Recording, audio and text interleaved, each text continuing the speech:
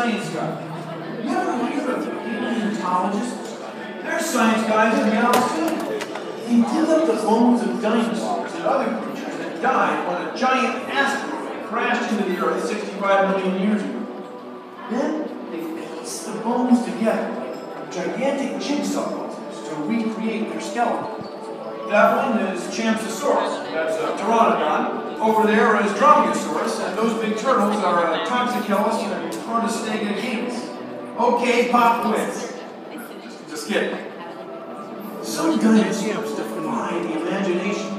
One weighed over 50 tons. You know how many elephants you'd have to have on a scale to have 50 tons? Tens! Wow! Yeah, That that's was a lot.